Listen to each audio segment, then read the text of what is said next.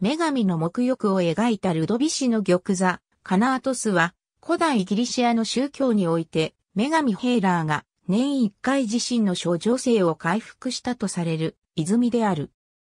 この泉は、アルゴリダ地方のナウプリアにあったとされる。パウサニアースは、カナートスと呼ばれる泉があり、アルゴス人が言うことには、ヘーラーはそこで、毎年沐浴し、それによって乙女になるが、この物語は彼らがヘーラーに対して行う儀式と関連していると記している。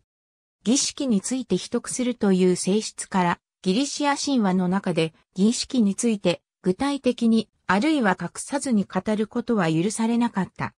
エスキャッソンはこれについて、ルドビシの玉座と呼ばれる彫刻に描かれたパポスの海で沐浴し再生するアプロディーテと